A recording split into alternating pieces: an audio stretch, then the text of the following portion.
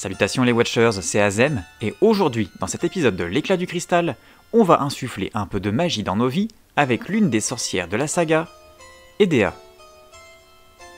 Attention, cette vidéo rentre dans les détails et contient donc des spoilers. Edea Kramer est une antagoniste et un personnage jouable temporairement de Final Fantasy VIII. C'est une femme mystérieuse nommée ambassadrice de Galbadia et une sorcière au pouvoir mystique.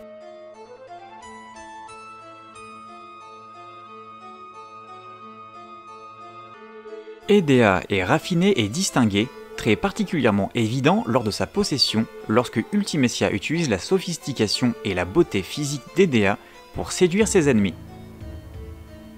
Elle a de longs cheveux noirs et des yeux verts qui sont jaunes dorés lorsqu'elle est possédée par Ultimecia. Normalement, elle porte une modeste robe noire avec des petits bijoux, mais lorsqu'elle est possédée, Edea porte une robe violette moulante avec un décolleté plongeant et des plumes autour du col, une coiffe ornée de bijoux et un cadre métallique en demi-cercle sur son dos avec deux longues bandes de tissu transparentes qui pendent de chaque côté. Le demi-cercle métallique tenant la cape d'Edea est similaire à celui porté par Brisam dans Final Fantasy VI. Il n'apparaît que pendant les scènes et les batailles et n'est pas présent sur son modèle d'exploration. Avant de révéler son visage lors du défilé, Edea porte un masque rouge pour dissimuler son identité. Ses longs cheveux sont magiquement raccourcis ou cachés sous son couvre-chef, comme on le voit pendant la cinématique. Lors de gros plans sur son visage, pendant les cinématiques, des lignes blanches peuvent être observées s'étendant du coin de l'œil et de la joue.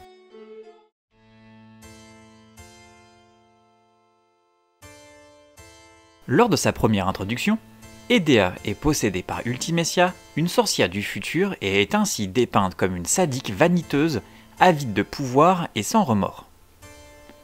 Toutes les traces de sa personnalité autrefois gentille et aimante sont purgées par la possession pour être remplacée par les désirs d'Ultimecia.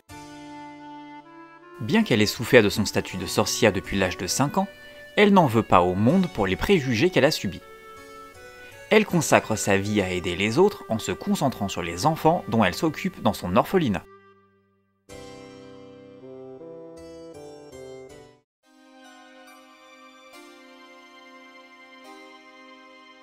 Quand elle avait 5 ans, Edea a reçu des pouvoirs de sorcière d'une sorcière inconnue. Des années plus tard, elle a épousé Sid Kramer qui savait qu'elle était une sorcière. Elle s'occupe par la suite d'un orphelinat pour les orphelins de la guerre des sorcières sur le continent Centra, les orphelins se référant à Edea comme gouvernante.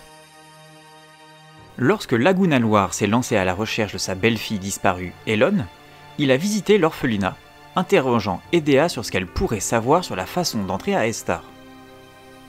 Plus tard, à l'approche de la fin de la guerre des sorcières, Squall, le fils de Laguna et Rain, serait envoyé à l'orphelinat d'Edea par les habitants de Win Hill après la mort de Rain, accompagné de Elon.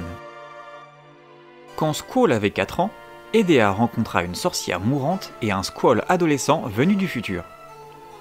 La sorcière a été vaincue par Squall et Edea avait reçu ses pouvoirs de sorcière. Squall a parlé à Edea du Cid et de la BGU, la saluant avec le salut du Cid avant de disparaître dans le portail temporel. Edea a été frappé par cette rencontre et perplexe que Squall du futur lui ait dit que le Cid et le Garden étaient ses idées.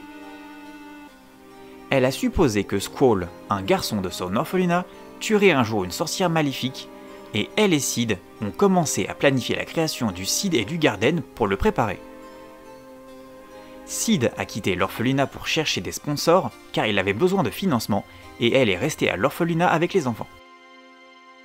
Elon était recherché par le docteur Geyser d'Estar pour compléter ses recherches sur elle et ses pouvoirs spéciaux pour renvoyer la conscience d'une personne dans le temps. Edea a créé le Cid Blanc, un groupe d'orphelins plus âgés chargés de protéger Elon. Edea et Cid ont été définitivement séparés lorsque Cid est devenu le directeur du Garden de Balamb, sa quête étant de former des jeunes, dont Squall en tant que Cid, pour devenir assez fort pour un jour affronter la sorcière de la rencontre d'Edea. Edea était le capitaine du navire des Cides Blancs, qui abritait les autres orphelins et Elon.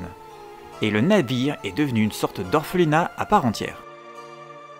12 ans après l'achèvement de la BGU, Ultimessia possédait Edea. On ne sait pas si Edea a quitté le navire avant ou après être possédé, mais le Cid blanc et d'autres orphelins ont rapidement voyagé vers la BGU, peut-être pour dire à Cid ce qui s'était passé. Ultimessia a utilisé le corps et le nom d'Edea comme un vaisseau pour s'emparer du pouvoir sur la planète, afin d'utiliser les ressources qu'elle rassemblerait pour traquer Elon pour pouvoir utiliser son pouvoir. Au fil du temps, les Galbadiens pensaient à qu'Edea était la sorcière qui avait hérité des pouvoirs de la sorcière Adèle. Ultimessia veut mobiliser l'armée galbadienne pour retrouver Elon, mais pour ce faire, elle doit prendre le contrôle de Galbadia et s'allie au président d'Eling. Au cours d'une émission télévisée en direct destinée à la présenter au monde en tant que nouvelle ambassadrice de Galbadia, Cypher, un cadet du CID, prend le président en otage et Ultimessia dans le corps d'Edea l'éloigne avec elle. Jugeant Cypher potentiellement utile pour elle, Ultimessia fait de Cypher un chevalier. Lors des événements de Deling City, Ultimessia tue le président Deling, survit à une tentative d'assassinat par le Cid et prend le commandement de l'armée galbadienne. Elle déclare le Cid comme son ennemi et ordonne des attaques de missiles sur Trabia et la BGU pendant qu'elle fait du GGU sa base d'opération. Alors que la BGU échappe à l'attaque de missiles en activant ses fonctions mobiles et en s'éloignant de l'endroit ciblé par les missiles, la TGU n'a pas autant de chance. Ultimessia ordonne à ses troupes de rechercher Elon avec Cypher aux commandes, qui nomme ses amis Fujin et Raijin comme commandants. Squall devient le commandant de la BGU et commence la guerre contre Edea, bien qu'il la connaît maintenant comme son ancienne gouvernante. Pendant la bataille, Edea tombe au combat et l'expérience de mort imminente expulse son pouvoir de sorcière qui trouve un nouvel hôte en Linoa, membre du groupe de Squall. Ultimessia possède Linoa et ordonne à Cypher de réveiller le lunatique Pandora, une arme de destruction massive estarienne, avant que Linoa ne tombe dans le coma. Cypher part pour mener à bien sa tâche et Edea reprend le contrôle de son corps et de son esprit tout le monde se retrouve dans l'ancien orphelinat où Edea retrouve Sid. Edea explique ce qui lui était arrivé et le véritable objectif de Ultimessia de trouver Elon pour lancer un sort qui détruirait le monde tel qu'ils le connaissent, la compression temporelle. Edea ignore qu'elle a perdu ses pouvoirs de sorcière et c'est seulement qu'Ultimessia l'a quittée, mais est incapable d'aider Linoa qui reste dans le coma. Elle aide Squall à chercher Elon en lui disant où trouver le navire des Cid Blancs et lui donne une lettre d'introduction afin que l'équipage l'accepte à bord. Edea veut s'assurer qu'Ultimessia ne la possédera plus jamais et rejoint le groupe pour un voyage vers Estar dans l'espoir que le docteur Gézer la débarrasserait de ses pouvoirs. Elle apprend de Gézer qu'elle a abandonné par inadvertance son pouvoir de sorcière à Linoa. Avec le fardeau de son pouvoir levé, Edea retourne à l'orphelinat en ruine avec son mari, où elle donne un abri, des conseils et des informations générales au groupe.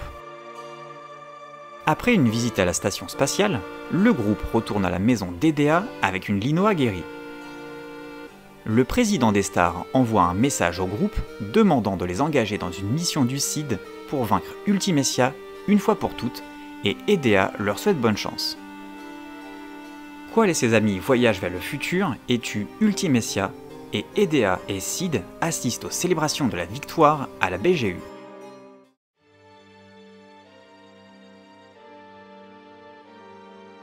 Edea apparaît comme un boss et un personnage jouable temporaire dans Final Fantasy VIII. Elle n'a pas d'arme évolutive, mais possède une limit break, Ice Strike, qui lance de gros pics de glace sur la cible. Elle est contrôlable pendant la traversée du Grand Lac Salé et pendant que Lunatic Pandora attaque Estar. Elle doit être équipée de G-Force pour utiliser la magie au combat, et bien qu'elle n'ait pas d'arme, elle est capable d'utiliser la commande attaque. L'arme d'EDA s'appelle Known pour simuler qu'elle ne manie pas d'arme tout en la désignant dans le code du jeu. Elle n'a que 20 de force et 97 de précision et ne peut pas être améliorée. Edea a des scores élevés de magie et d'esprit et a une bonne compatibilité avec chaque G-Force. CHP, sa force et sa vitalité sont faibles et sa vitesse et sa chance ne sont pas exceptionnelles non plus. Lorsque Edea part de l'équipe, le jeu tente de donner ses magies aux autres membres du groupe sort par sort. Mais si tous les autres personnages ont un inventaire plein, son stock de magie est perdu. Sa pose d'introduction consiste à croiser ses bras sur sa poitrine avant de les ouvrir. Un son distinct peut être entendu avant qu'elle n'ouvre les bras. Sa pose de victoire consiste à lever les bras, puis à fermer les mains et à s'incliner. Sa limite break, bien que puissante, est limitée car elle n'inflige des dégâts magiques qu'à une seule cible et sa puissance d'attaque est de 120. Cette limite break est également vue en cinématique à la fin du défilé à Deling City où elle l'utilise sur Squall. EDA peut associer les G-Force du joueur pendant le court passage où elle est membre du groupe. Parce que sa limite est magique, l'équiper d'une G-Force qui lui permet d'augmenter sa magie est idéal pour en tirer le meilleur. EDA a la plus grande compatibilité avec les G-Force, peut-être parce qu'elle est une sorcière. EDA a d'ailleurs des valeurs de compatibilité avec les G-Force qu'elle ne peut pas équiper, car débloquées après qu'elle ait quitté le groupe. EDA est combattue deux fois dans le jeu. La première fois lors du défilé et la seconde fois dans la GGU. Avant de combattre EDA pour la première fois, Squall affronte son rival Cypher seul. Après l'avoir vaincu, Linoa et Irvine arrivent pour aider Squall et Edea entre en scène. La bataille est scénarisée et ne peut pas se terminer par un game over, mais si le joueur bat Edea, il obtient des récompenses. Lorsqu'ils affrontent Edea pour la deuxième fois, le groupe doit à nouveau vaincre Cypher avant de pouvoir la toucher. Au cours de cette deuxième confrontation, le groupe peut lui voler la G-Force Alexander. Edea possède sa propre carte triple triade et peut être défiée chez elle. C'est l'une des meilleures cartes du jeu, mais Edea est sans doute la meilleure joueuse de cartes du monde avec une IA très intelligente. La difficulté de gagner la carte est aggravée par le fait qu'elle est dans la région de Centra, qui utilise toutes les règles du jeu. La carte de Edea est l'une des trois cartes à avoir plusieurs As, et elle peut être transformée en trois Magax.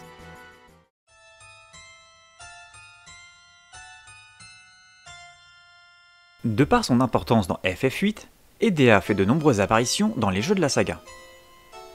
Dans Dissidia Duodécime et Dissidia NT, dans Theaterism, Final Fantasy Curtain Call et All Star Carnival, Pictologica Final Fantasy,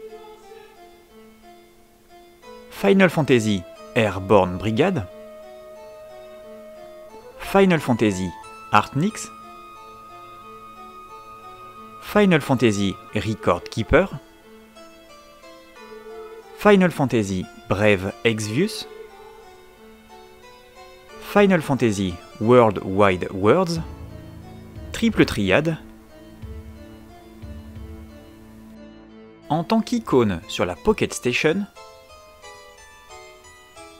et dans le Final Fantasy Trading Card Game en tant que carte légendaire de l'Opus 2, Carte héroïque de l'opus 2. Carte rare de l'opus 6. Et carte commune de l'opus 9. Concernant les anecdotes, trois thèmes accompagnent Edea. Succession of Witches joue lorsqu'elle apparaît comme un antagoniste, notamment lors de sa première rencontre avec Cypher à Timber. Cependant, il est considéré comme le thème d'Ultimecia. Les autres thèmes s'appellent Truth et peut être entendu chez Edea, et son thème de bataille est Premonition. Pour finir, le personnage d'Edea a été conçu à la base pour Final Fantasy VII, et Tetsuya Nomura voulait que la conception imite le style de Yoshitaka Amano. Ce n'est que pour Final Fantasy VIII que Nomura a trouvé un moyen de l'utiliser. Voilà qui conclut cette vidéo concernant la plus puissante des gouvernantes, EDA. J'espère que vous avez apprécié et appris des choses à son sujet. Maintenant, je vous conseille donc de garder un œil sur votre nourrice ou gouvernante, car il existe une possibilité qu'il s'agit d'une sorcière, et inutile de dire que si elle devait être possédée par des forces obscures, vous aurez fort à faire avant de pouvoir regarder le prochain épisode de l'éclat du cristal.